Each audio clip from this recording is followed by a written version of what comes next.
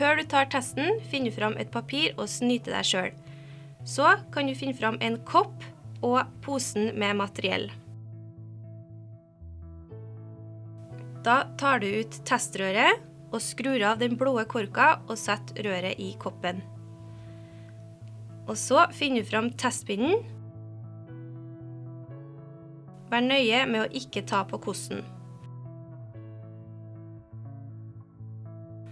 Denne pinnen skal 2 cm inn i hvert nesebor, og deretter skal du rotere rundt fem ganger.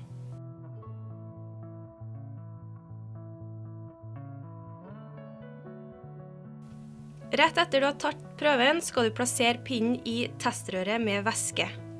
Nå skal du røre rundt pinnen fem ganger i bunnen. Deretter løfter du pinnen litt opp og klemmer på kosten. Så slipper du ned pinnen og knekker av øvre del av testpinnen. Så skrur du på korka igjen og setter røret ned i glasset. Nå skal du pakke ut testplata. Her er det viktig at du ikke berører overflaten. Legg plata på bordet, og du er nødt til å bruke plata kort tid etter du har pakka den ut.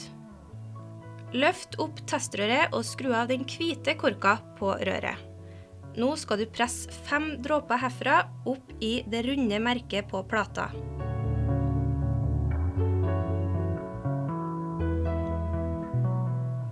Så skrur du bare på korka igjen og setter røret unna. Nå setter du på en nedtelling på 15 minutter. Etter 15 minutter så kan du lese av prøven din. Lykke til!